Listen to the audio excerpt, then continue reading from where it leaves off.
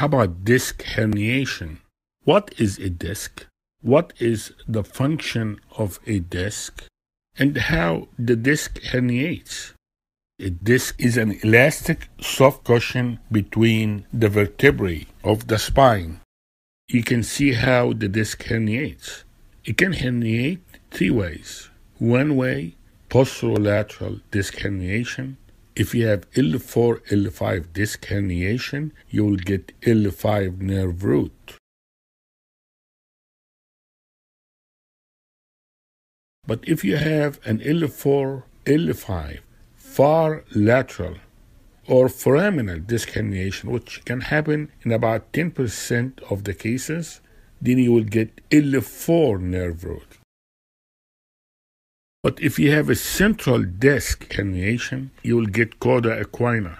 It is the tail of the horse. Don't mess with the horse's tail.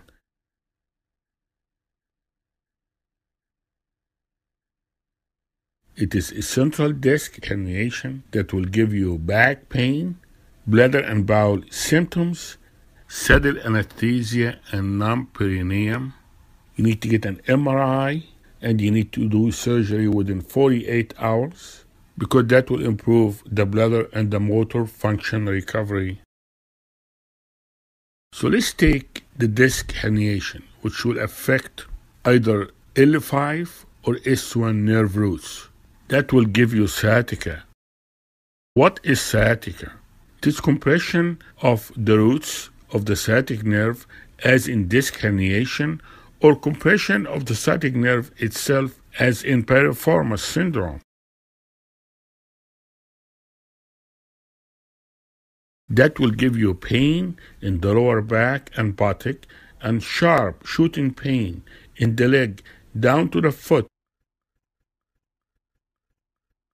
with numbness, tingling, burning, usually on one side.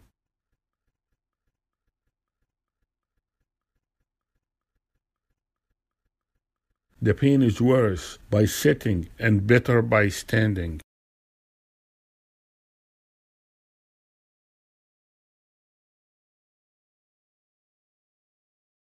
It is a self diagnosed condition and usually improves with time.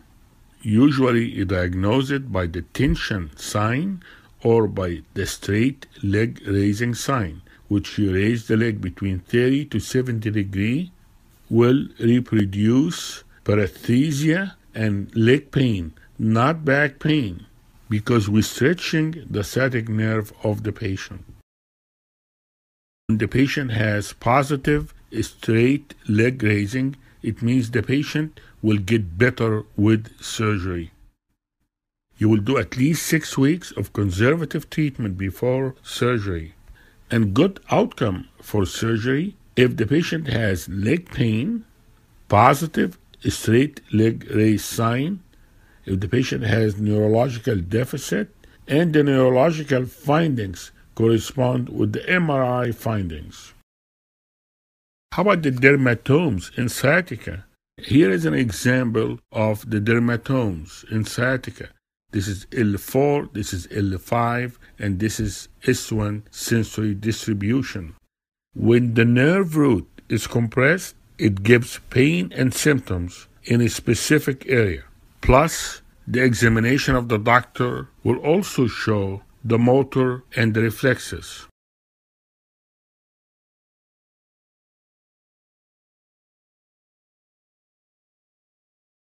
We should know that spontaneous resorption can occur in a sequestered disc.